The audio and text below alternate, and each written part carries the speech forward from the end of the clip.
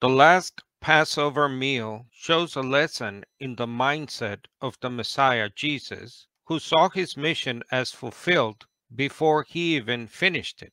It was as good as done, or, as we would say today, you can bet the house on it.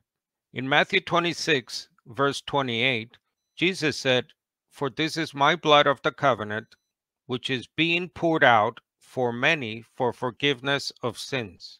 Here, Jesus uses the not so popular present tense of prophecy as opposed to the more popular past tense of prophecy.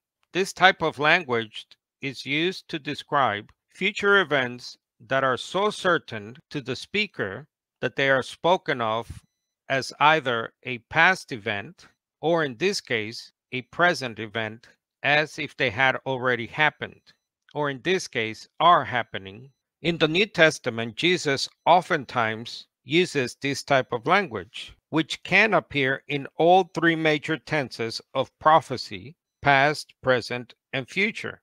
For example, when he says in John 5, verse 24, Whoever hears my word and believes him who sent me has eternal life and will not be judged, but has crossed over from death to life. We clearly see the three tenses of prophecy. We have eternal life of that kingdom age to come. We will not be judged in that future that is coming. And we have already crossed from death to that life of the age to come. This is typical Old Testament prophetic way of speaking, which is featured in the so called suffering servant prophecies of Isaiah about the future Messiah. Isaiah 40, verse 3 a voice is calling, a present tense future for John the Baptist, according to Mark chapter 1. Isaiah 53, verse 2 says that the suffering servant has no stately form or majesty that we should look upon him. And Isaiah 53, verse 5 by his wounds we are healed. All present tense used for a future person, that is, the Messiah Jesus. These prophecies also show the mindset the servant of God was to have. Isaiah 50, verse 7 Because the Lord God helps me, I will not be dismayed.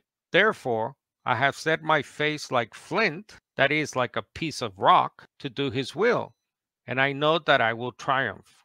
So the lesson is clear. Self professing Christians, followers of Jesus as the Messiah, must adopt and indeed create a like minded mindset and see the great prophecies about the coming kingdom of God with Jesus as the ruling king, that is, Messiah, as so certain that it can be spoken as a past and even indeed a present event with an obvious future meaning.